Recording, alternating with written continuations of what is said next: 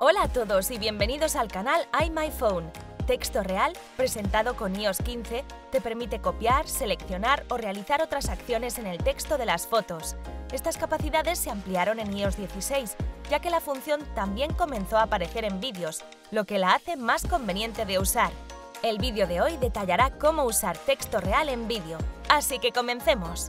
Primero abre un vídeo con texto. Pausa el vídeo cuando veas el texto que deseas capturar la información. Mantén presionado el texto deseado hasta que aparezca un resaltado azul.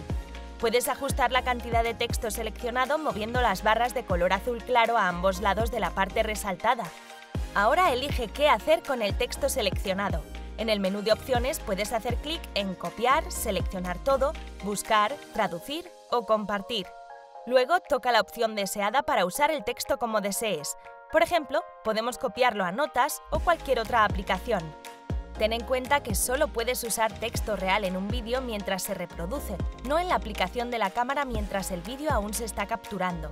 El texto real a veces también puede ser irreconocible, ya que depende de la visibilidad del texto, el tamaño de la fuente, la resolución del vídeo, etc.